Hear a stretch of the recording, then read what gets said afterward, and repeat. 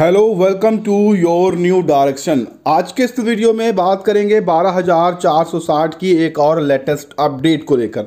एक पिछले वीडियो में मैंने आपको बताया था कि शासन स्तर से कुछ जवाब मांगे गए हैं इस भर्ती को लेकर कोर्ट स्तर पर क्या हो रहा है।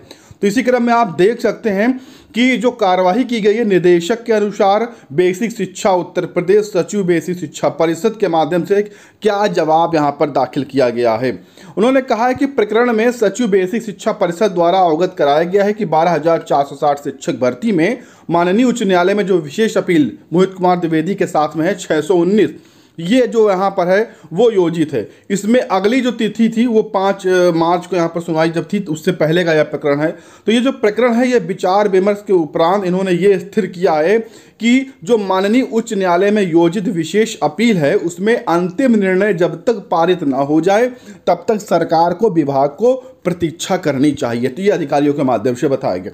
तो कुल मिलाकर आप ये समझ लीजिए कि शासन और अधिकारी कोर्ट के ऑर्डर का इंतज़ार कर रहे हैं। जो मोहित कुमार द्विवेदी वाली अपील चल रही है, उसके फैसले का इंतज़ार कर रहे हैं। जब उसमें अंतरिम फैसला आएगा, तभी सरकार या विभाग कोई आगे कदम उठाने वाला है। तो कोर्ट केस को फाइनल कराना बहुत ही महत्वपूर्ण है और इसके लिए मोहित कुमार द्विवेदी बहुत अच्छा प्रयास कर रहे थे।